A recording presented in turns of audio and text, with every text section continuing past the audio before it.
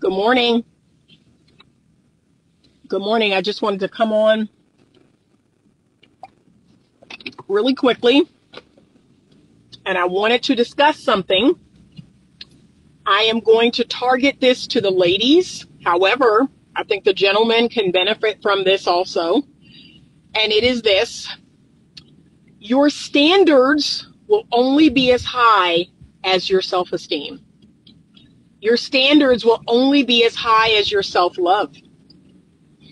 And so sometimes I have to remind myself of that because I work with a lot of different people and they are in a lot of different stages of growth and development and healing.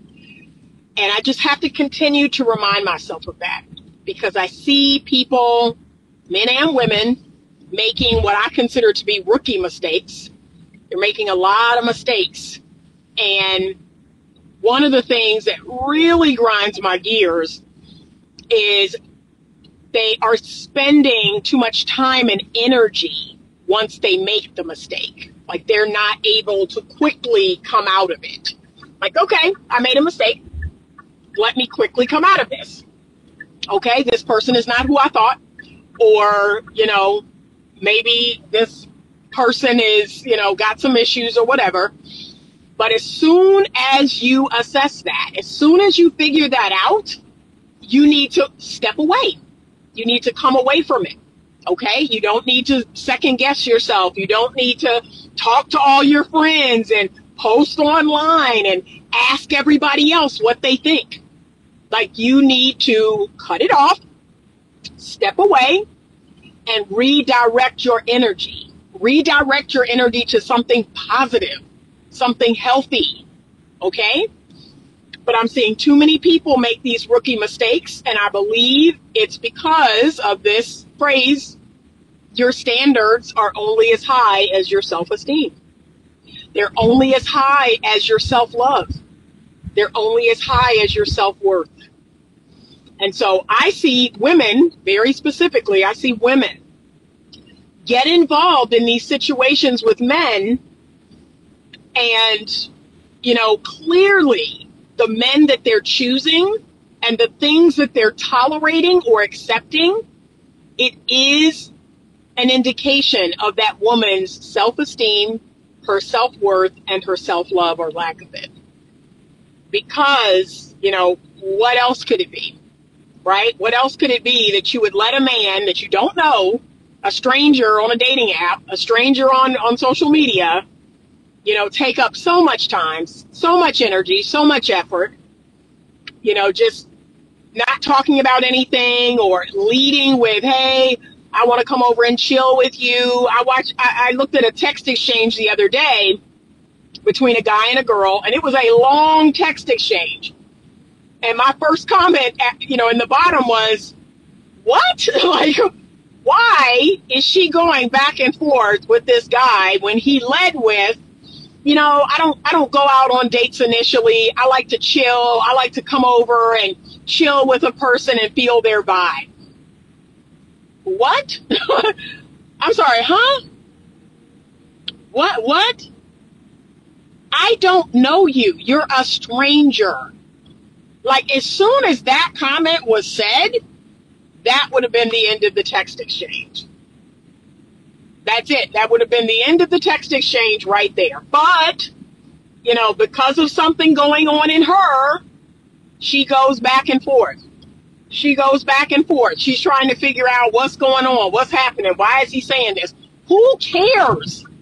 Like, seriously, who cares? This is, again, once you have high standards, once you know what your worth is and your value and your time and your energy, once you know that, it is very easy to determine when someone is not in that realm. Very easy. Very easy to say, oh, this person is not, you know, not worthy of any more of my time. I love myself so much. This person doesn't meet my standard. That's it. That's it. And it just blows my mind that, you know, people don't recognize that. And remember this your standards and your boundaries are there to protect you. A lot of women get into dangerous situations because they lack boundaries and they have no standard. Your boundaries and standards are there to protect you. They're not there for you to be a bee. They're not there for you to, you know, be difficult or turn people off. They're there to protect you. Don't ever forget that. That is why you have boundaries and standards because you need to protect yourself. You need to protect your time and your energy. We have a finite amount of time each day. We have a finite amount of energy. And she's wasting 10 precious minutes going back and forth with a man actually said in the text exchange he would not take her out on a date. Like that's it. It's over. that's it. You got the, the minute or the 30 seconds that it took you to say that to me. That's all you got out of my life. You're not getting 10 or 15 minutes. You're not getting a phone call. You're not getting a FaceTime. You got 30 to 60 seconds to say, I don't take women out on dates. Oh, it's done. it's done. Like that's where we need to get. And I guess, you know, as a dating coach, as a as a as a counselor and a relationship coach, it's my job to work with you on that. Like that's that's a big part of my job. So it gets frustrating to me when I'm working with people on developing this, developing the self-love, developing the self-worth, developing your standards, the self-esteem. It is critical. Self-love and the, the self-esteem is critical in building a healthy relationship. Because if you don't, if you are so desperate for attention and desperate for affirmation and desperate for validation, you'll accept it from anyone. You will accept it from anyone. And then this is what's so mind altering. You'll talk to these women and they'll tell you how high their self esteem is, how high their self worth is. What are you basing it on? Your weave? Are you basing it on your lashes? Are you basing it on your nails? Like, what are you basing it on? Because it's not based on any of that. It's not based on how you look. I have seen some of the most beautiful women. I'm talking beautiful women. Destroy their body, right? They will uh, disfigure their body by getting all this weird surgery. That is not a person who has high self-esteem. That is not a person who is confident. That is not a person who has high self-worth and high standards. It's not. A woman who would get surgery to deform her body, to mutilate her body, is, is not a high self-esteem person. So don't let that fool you that, oh, she has this big butt and these big boobs and this, you know, tiny waist. No, she, quite the opposite. Women who do that to themselves are quite the opposite of that. They do not have high self esteem. They are not confident in their skin. Women who wear someone else's hair and, and the, the nails and all the things. That is not a woman who's super confident. That quite the opposite. And all the makeup, I have to have all this on to feel good. No. Throw your behind in a pool and, and get out and let's see how confident you feel. And I can assure you, most of them were not right? Most of them won't feel confident. So, true confidence is in what God gave you. It's just working with what God gave you. You know, this is what God gave me. I'm going to work with it. I'm going to make it look the best I can. That's true confidence. But if you need all that stuff on, if you need all these surgeries, that's not true confidence. That's not true self love and self esteem. It's not. Sorry, but I'm not sorry. But yes, I'm, I'm beginning to, to understand. And this is what I guess I want the men to understand. Like, really pay attention to who a woman chooses, who she interacts with, pay attention to that. Pay attention to who she allows to treat her, how, you know, how she allows people to treat her, because she's telling you something about her self esteem and her self worth. And if she allows anyone to have access, if she allows anyone in her circle, anyone in her space, that's not good. That's not good. And don't get me wrong, you know, don't get me wrong, fellas. Y'all are gonna, you know, you're gonna smash if she lets you smash. But here's what you don't understand you're taking on that energy, just like she's taking on your energy. You're taking on that low value, low self esteem, low self worth energy of that woman. The woman who has nothing to lose. I told my client this the other day, my male client. I said, do not, do not tie yourself to someone who has nothing to lose. Okay? That's the first thing you assess for. Is a, does a woman have her life together? Does she have something to lose? Her emotional regulation, her emotional stability. Please vet for that first and foremost because women will destroy your life. And a lot of women don't like when I say that, but it's the truth. And I'm not saying every woman, but women are different. Women are different.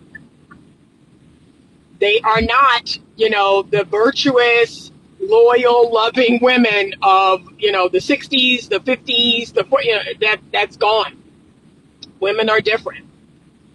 And you know, there's a lot of reasons why that is. I'm not going to get into all of them right here, but women are different. Women are very different than they were in the past. As, as men are different, right? And there's this chicken and egg uh, fight. There's this chicken and egg argument going back and forth. Like, which one came first? Which one came first? But the reality is, like, all of these changes, they were, they've been slowly happening over time. So between men and women, all of these changes have been happening. And, you know, as a spiritual person, you know, I have to mention this, and that is all of this has been prophesied. Like all of this has been prophesied. We knew all of this would happen. And because every person who bleeds is, is valuable, every person who bleeds is fallen, is full of sin, right? So nobody's perfect anymore. That's the thing of the past. Um, you know, this is this is how the world is. This is how things are going to go. But please, please do that self work. Do that work. I have a friend right now going through, you know, a bad breakup and a parent passing away. And, you know, he's in that middle age, you know, having kind of that middle age, you know, that midlife crisis. And I said, yeah, I had one at 40. I had a midlife crisis at 40 where I was like, this is not the life for me. This is not the life I want. This isn't the life I deserve. And the good news is I woke up you know, I woke up, I did some different things. I took radical responsibility and radical accountability for my life. That changed everything. When I started saying everything was my fault, like everything was up to me. Everything was for me to determine. Everything was for me to do something about. When I started doing that and I laid down victimhood for good, that's when my life completely changed. My life completely changed from just doing that one thing. Just doing that one thing. It's me. It's me. How is it me? How can I, what, what do I have the power over in this situation? How can I do things differently? How can I do things better? Once I started doing that, I took radical responsibility, radical accountability. It's me. What am I doing in this situation that, that's causing it to end up this way? Now, here's the thing I'm going to tell you about that. You have got to do some inner healing because a lot of people tie shame to being accountable. They tie shame to being responsible. That's why they run from it. Because if they are to admit their wrongs, if they are to admit the, the part of it that's their fault, they feel this immense shame. They feel bad. I'm a bad person. What's wrong with me? I don't go there. I don't ever go there. When I'm taking radical responsibility and radical accountability, I don't go there. I really don't. I don't feel like a bad person. I feel like I'm I'm fallen, you know. But God already told me that I'm fallen. I'm full of sin, and I'm gonna make mistakes. I'm gonna choose wrong. I'm gonna say things. I'm gonna do things. I, like you should already know this. What is there to feel bad about? And some of y'all gonna make the same mistake over and over and over and over and over. And that's where the shame comes from. Why do I keep doing this? Why do I keep picking these people? Why do I keep falling into these same things? Take radical responsibility and accountability. Figure out what is your part. Stop pointing the finger out. Stop saying it's other people, it's these men, it's these women. Look at yourself. Point at yourself. Okay? That's it. Look at yourself and point at yourself and figure it out. But if you keep saying it's everybody else, if you keep remaining a victim, if you keep saying there's nothing you can do, and I have several friends right now that are in that space, and I, I'm I'm coming for them. I'm coming for their neck. Like you're never going to get better. You're never going to get better blaming someone else. You're not. You're going to stay in this victim mindset that every every so everybody's doing something to them. That's that. Why did someone so do this to me, and why is this happening to me? No, it's happening for you. It's happening for you. There's a lesson in it that you need to learn, and because you keep talking this way, you're not going to learn it. That's why. That's what's happening. So, 40 years old, I wake up, I'm divorced, I have three young children, and I just made a decision. I made a decision. If it's going to be, it's up to me. And I'm going to control everything that's in my power to control. Now, that is not other people. And that is not always outside circumstances, right? I cannot control other people. I cannot control outside circumstances, but I can control me. I can control my mouth. I can control my thoughts. I can control my behaviors and my habits and my choices. That's what you can control, and you need to control the heck out of it. But this idea that, you know, people are doing something to me, and things are happening to me that, oh, I can't do it it's it's all in how you respond. It's all in how you respond. And that is what you can control. I work on my thoughts daily. I work on my words daily.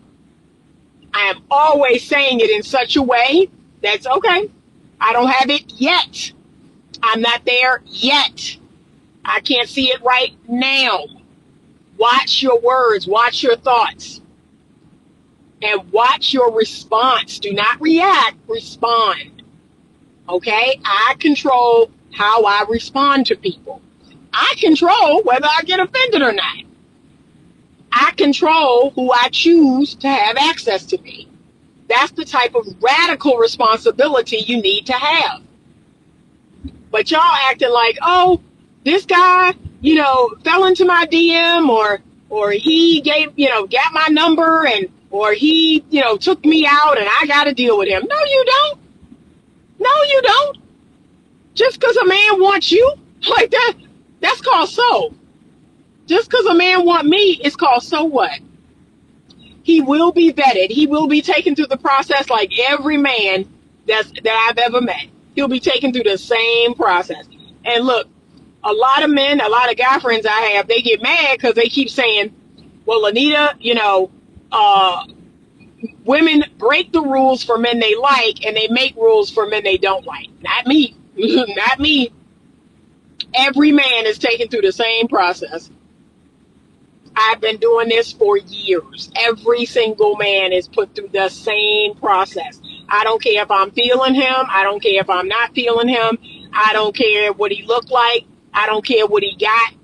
Every man is taken through the same process. I have a strategy. I have had it for a long time. I do not veer from it. And for the most part, it's kept me safe. For the most part, it's kept me out of any you know, relationship foolishness. I have the same process, and I encourage women to do that as well. So nobody gets a pass. I don't care how fine he is. I don't care how tall he is, how good he smell. I don't care how much money he got.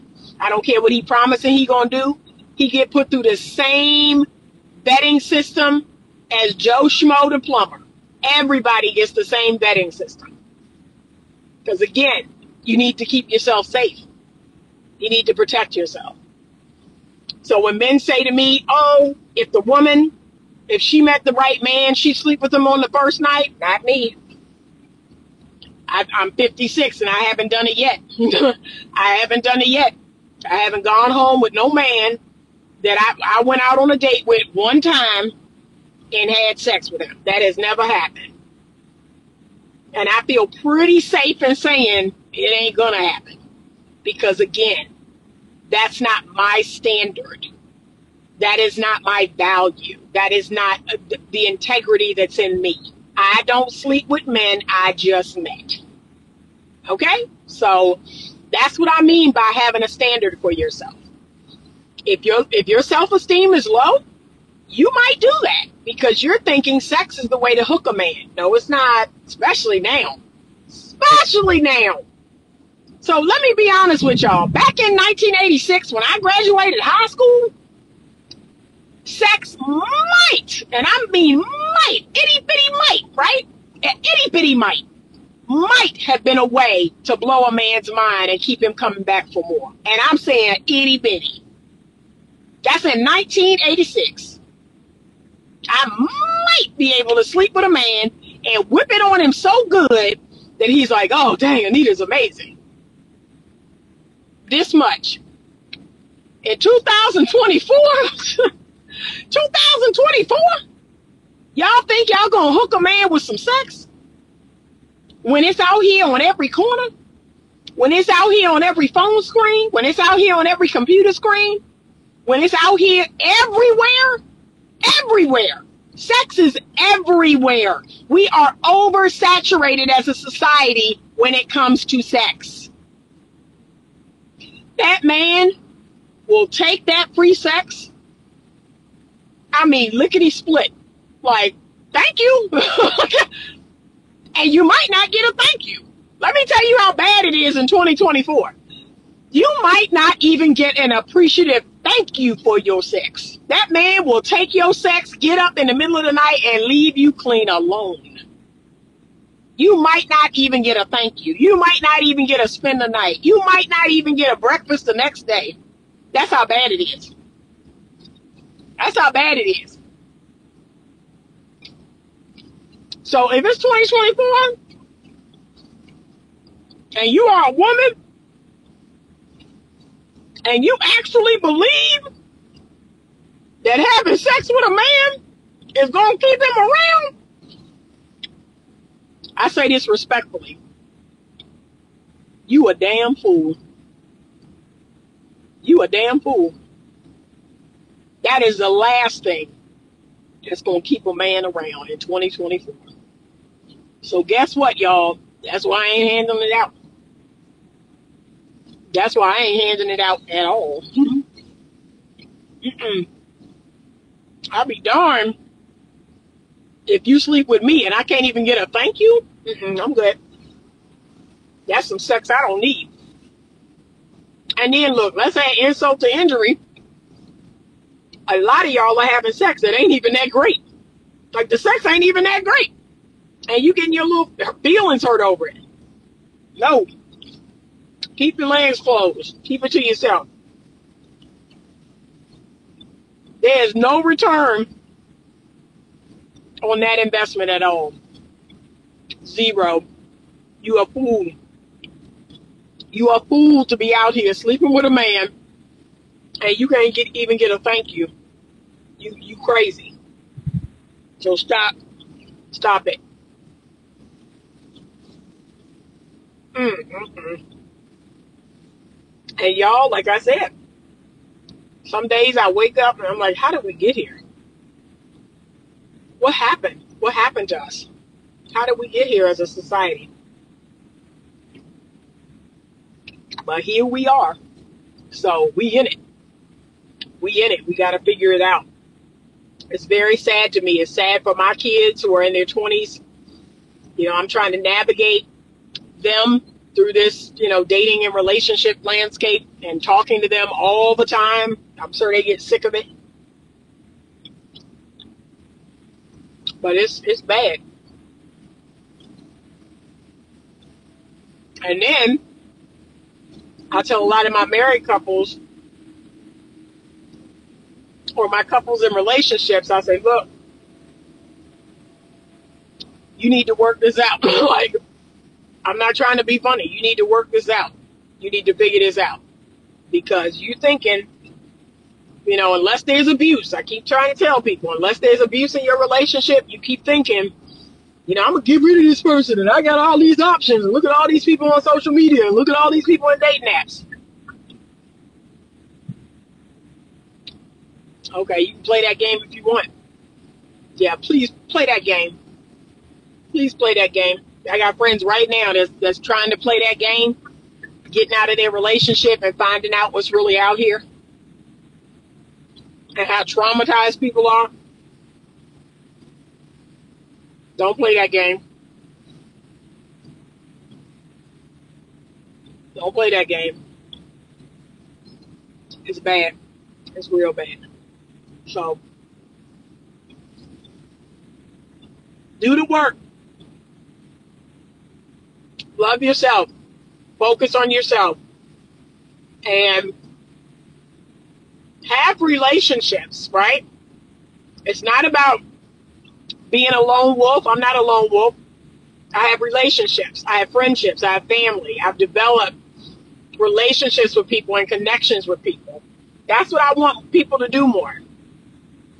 Focus on the connection, right? Focus on the connection with people. Stop focusing on sex. Stop focusing on, you know, not being lonely. You know, that a lot that's a lot of people. They just want to be with somebody and not be lonely or not be alone. You're focusing on the wrong thing. Focus on the connection. Focus on connecting to people. And actually like, you know, showing people yourself and actually seeing them. That's what I want people to do. And when we can get back to that, like focusing on the connection, things may get a little better. But people are not focusing on the connection. They're not focusing on truly being seen or seeing another person. They're focused on, you know, their selfish desires. They're focused on sex. They're focused on, you know, quelling the loneliness. Yeah, that's that's not good. You're just traumatizing other people. You're you're traumatizing yourself and you're traumatizing other people. And you're a part of the problem. I told a gentleman the other day who's like, oh, you know, and, and he calls himself being all ethical, right? Oh, I tell women, you know, what it is and I can't give them anything real. I can't have a real relationship and this and that. And I tell them, I tell them that it's just what it is. It's just companionate. It's just sex. It's just and he thinks he's being ethical. And you know what I told him? You're a part of the problem. And I believe that. You're a part of the problem. And look, he immediately jumped into, you know, why are you judging me? Why are you judging me because I want something different? Or why you judge? Nobody's judging you, but you are part of the problem. The casual sex folks, y'all are part of the problem. Y'all are part of the problem. Y'all are the ones that are driving down, you know, the, co- the, the cost of sex you're driving down, you know, relationships. Yeah, you're a part of the problem. I'm just going to say it. You are a big part of the problem. It's not a judgment. It's just an observation that if that's all you're doing, because here's the thing that people, again, you don't want to take responsibility or accountability. That type of behavior has consequences. You want to act like it doesn't? Oh, I tell them, I tell them what it is. You know, they can't say I tricked them. I didn't lie. It has consequences. Even if two people, let's be, let's be honest, two people come together and they consensually agree to be friends with benefits, right? And I've seen this happen. The woman knows what it is. The man knows what it is. They come together. They agree to be friends with benefits. They, they come together and have sex or hang out maybe once a week. And they do this over a period of months. They're just, you know, coming together once a week, you know, hanging out, having sex. I can guarantee you that eventually, especially if they're not actively dating other people or, you know, trying to figure out something else, one of those people is going to want more. One of those people is eventually going to want more. Like, okay, we're already in this. We're already doing this. Let's see if we can turn it into something real. And let's say the other person is like, hey, you know, I was ethical. I told you what it was. Like, why are you trying to, you know, why are you trying to make this into a real relationship? We had an agreement. And see, this is the part where, you know, I always tell people, yeah, this is how it, it's always going to end. It's always going to end this way. Because we as human beings were built for connection. And y'all keep talking about all these newfound relationship statuses, you know, situationships and friends with benefits and all this other crap. And yet, it doesn't matter what you call it because your evolutionary psychology your biology is going to kick in and it's made for connection. It's made for, oh, if I'm seeing this person pretty regularly over and over and I'm having sex with this person, like this is my person. Like that's what's going to happen eventually. That's going to happen in your mind. That's going to happen in your heart. That's, that's just going to happen because you were built to connect. You were built to have real, you know, sustainable type of relationships, not these relationships y'all are making up. And, you know, anything could happen in these relationships. Someone could get pregnant. Someone could catch something. You know, anything could happen. Or how about this? One person and your friends with benefits, they lose their job or they're going through something. Someone dies in their family. Then what? Oh, you're not as fun as you used to be. Like, what's going on? You actually have feelings? You actually have real emotions? And now they're affecting me? I've got to deal with them? Oh, shucks. That's not fun. That's what's going to happen. Like, life is going to happen. And then, let's go here. You are habitually setting up a system that is going to be hard to break. So like people in these friends with benefits and these situationships, like you're you're setting up a habit, and it is a habit where if ever you did want more or you wanted to get married one day or have a family, it's like I'm not used to being with this person every day. I'm not used to talking to this person every day. I'm not used to this person having wants and needs and you know actually expecting stuff of me. What is this? What are you talking about? You want to talk? What are you talking about? Like you're having problems at your job or you have an illness or, you know, there's something going on in your life. What is this? Like, you don't even know how to deal with that. Because what you have practiced is friends with benefits. What you have practiced is a situationship. What you have practiced is something casual. So you can't even have anything real because the only thing you know how to do is do something casual. So it doesn't benefit anyone. And even the men, the men love to say how, oh, it doesn't affect us the same. Yes, it does. Yes, it does, because we're all human beings. We're all spiritual beings. We're more spiritual beings than we are physical beings. And it's going to have the same effect on you. You're going to take on that woman's spirit. You're going to take on her stuff. And she's definitely going to take on yours. And, you know, that's how the soul tie is formed. I've seen men in my office, I kid you not, men in my office that they're under a soul tie. They cannot leave a woman alone. And I mean, she's crazy. She's done crazy stuff. She's been arrested for breaking into his place and she's keyed his car and she slashed his tires and she showed up at his job. She tried to get him fired and they still will mess with her. They still go back and mess with her. They still go back and sleep with her. Now, what do you call that? What do you call that? And yet the men keep, oh, we different. We different. We don't get attached. It don't work that way with us. Then how do you explain that? How do you explain a man going back and sleeping with a woman that talk crap about your child, uh, you know, did all this crazy stuff to you? What? You a fool. You a fool for messing with her. But they do it. They do it. I've seen men go back with women that gave them STDs. I'm thinking, this, what, what?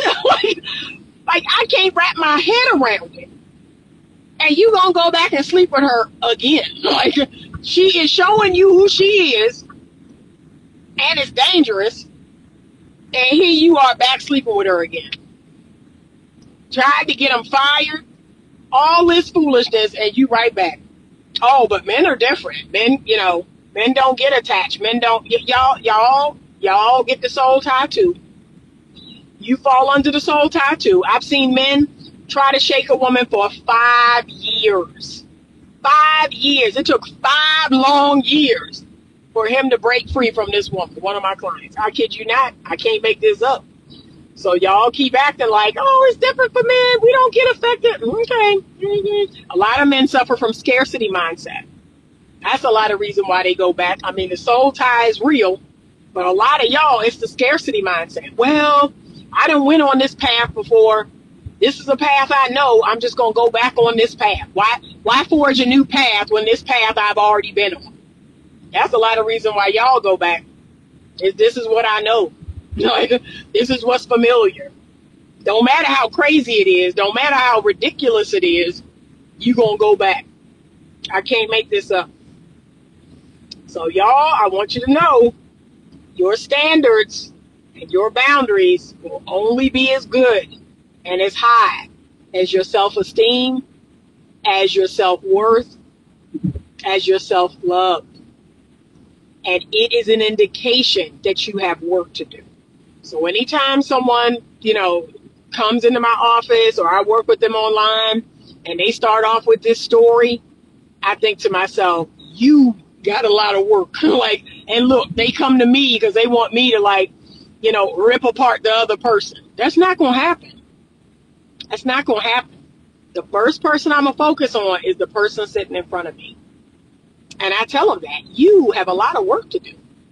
And they're like, what? But this guy did this and he said that and he lied and he cheated. You have a lot of work to do. That's the reality. And that's the reality a lot of women do not want to face. And the first thing you're going to do, so this is what you're going to do to deflect. That's the first thing you're going to do. You're going to try to deflect. Well, why are you victim shaming? Why am I the problem? He did this to me. He cheated. So that's the first thing you're going to do. Let me get Anita off of my neck.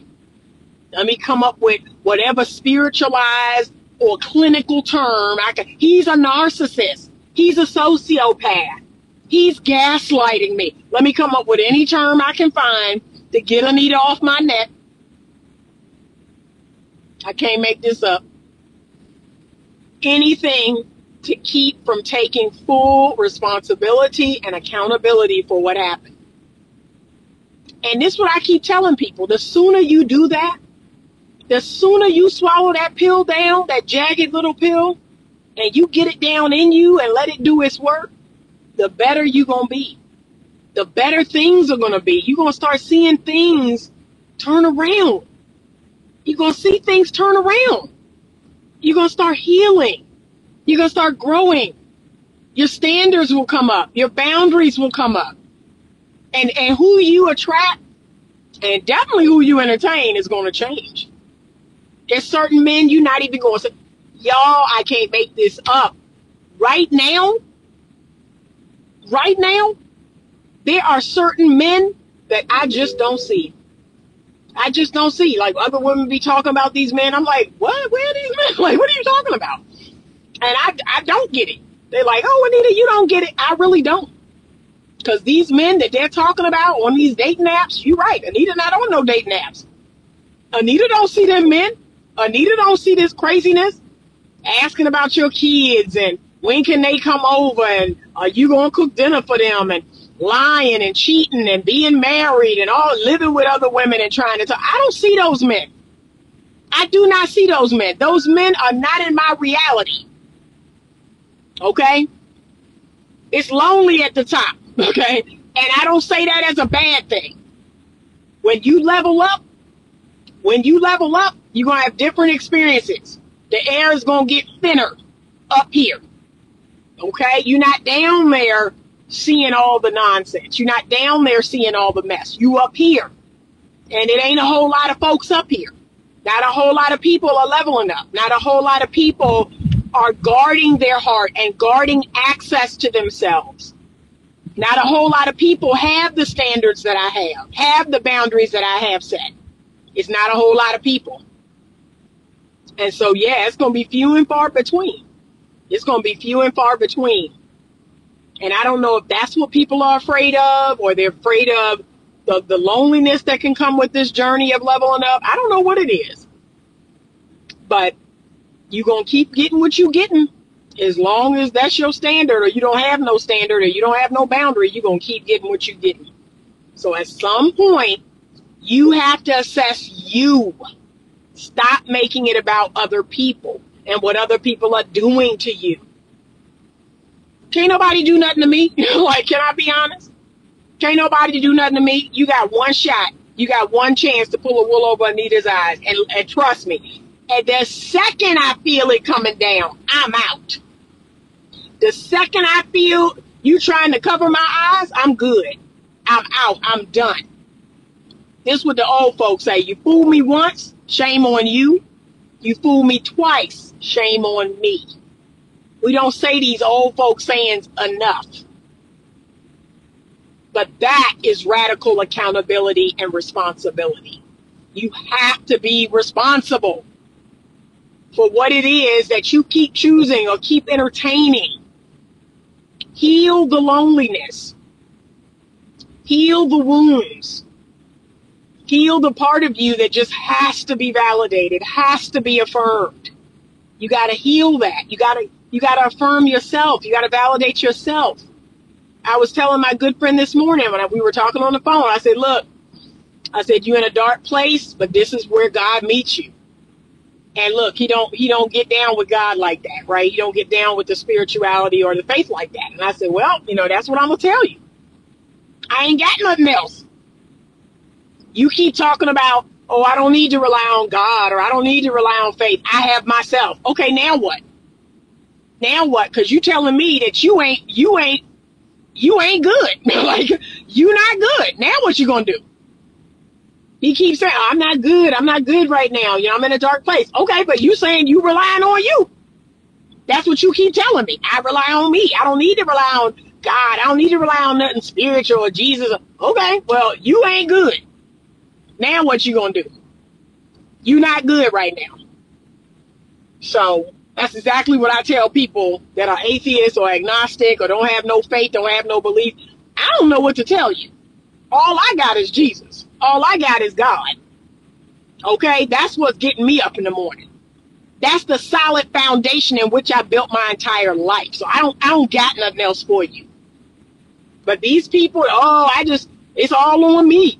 I'm just going no, I I take radical accountability and responsibility. But let me also share this. I co-create everything with God. Everything I got, everything I do, everything I'm about. I invite him into it and say, hey, is this something I should be doing? Is this for me? Show me who this person is. Show me, show me this person's heart. Should I be going here? Should I avoid this? Should I buy that? I bring God into everything. Everything. I co-create everything with him.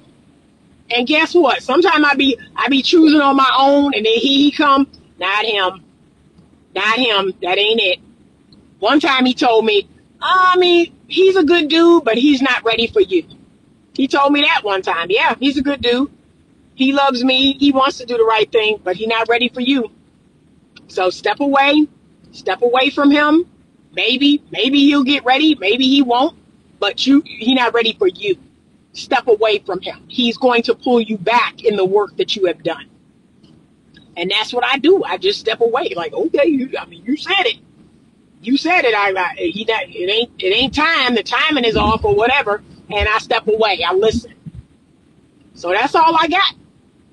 And and these people out here, I don't know how y'all do it. If you don't have God, if you don't have a true relationship with God, if you don't have a belief in something higher than you, an omnipotent presence, a, a power that's always with you, I don't know how y'all live. I really don't. I don't know how y'all be living. I don't know how y'all be living. I really don't.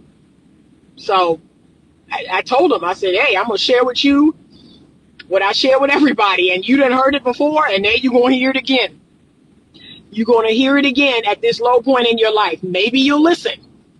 Maybe you're at a point, at a, a low point in your life where you'll actually listen. But that's all I got. All I got is God. Yesterday, today, and tomorrow, always the same.